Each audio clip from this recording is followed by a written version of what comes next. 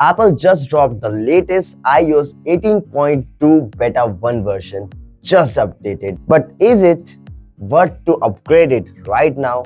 Well, hello guys, welcome back to our channel Himanshu here. You're watching Get Assist and in this video, we'll be figuring it out whether the new iOS 18.2 is worth to upgrade or you just wait for the final iOS 18 version. So let's dive in to check out what's new in this update and the obvious pros and cons and the future of this upgrade. Apple has just refined a few key features. The update brings smoother animations, enhanced widget functionalities, and improved interactive capabilities across the app. Apple is clearly listening to user feedbacks to make things more intuitive. Enhanced widget systems.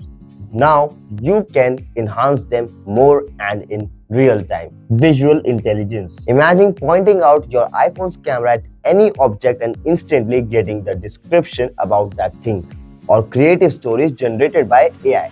That's the new visual intelligence tool powered by ChatGPT and Google too. Even the focus mode upgraded. Anyone who loves to use the focus mode now can set app-specific preferences to set or tailor your work. Smarter Siri. Siri just leveled up.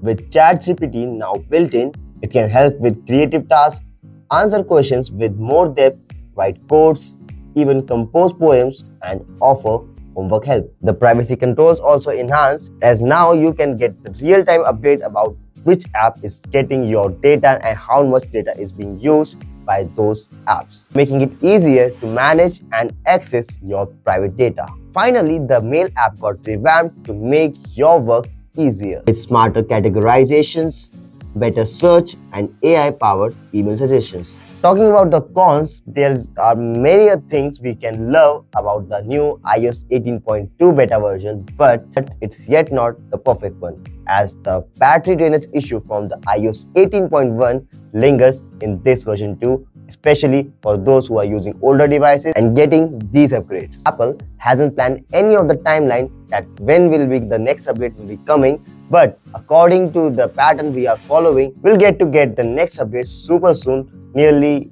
hardly in 10 days because they are going really quicker. And I'm definitely excited to see where Apple is going in the near future. So that's all in this video and if you find this video useful then do subscribe to our channel, hit the like button over there and what else, just comment down your thoughts and I'll meet you in the next one.